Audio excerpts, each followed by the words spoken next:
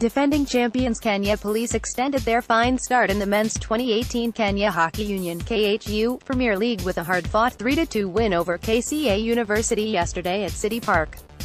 Prior to the match, police were unbeaten in their past two matches, and their experience won them their third against unrelenting KCA. Police began on a high and after minutes of searching for an opener, Calvins Kanu put the law enforcers ahead in the eighth minute with Sammy Oungo on target from a short corner.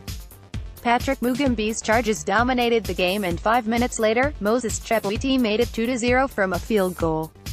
Talisman Oliver Ekenje was a constant threat to the students' defense as his dribbles from the left flank and pinpoint crosses exposed the poor defense by Luke Mbam's charges. The two teams went into the breather with police enjoying a 2-0 lead.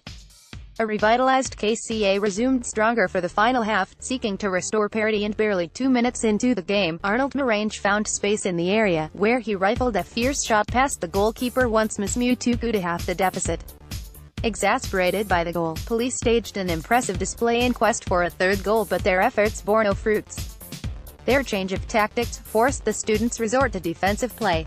Despite playing under pressure, KCA managed to pull a number of counterattacks which almost caught the police defense flat-footed.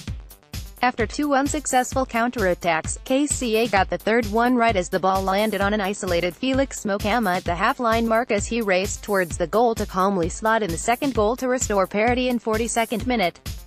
A minute later, fortunes fell on police's side as Samuel Wakila sounded the boards from a short corner after an infringement in the KCA's area.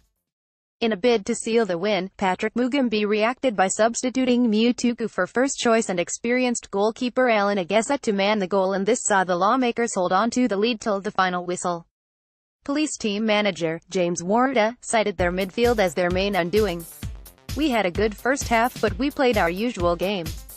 We conceded two goals from counterattacks and I think the midfield exposed the defense. I feel we are still not fully fit unlike last season where all departments were coordinating well.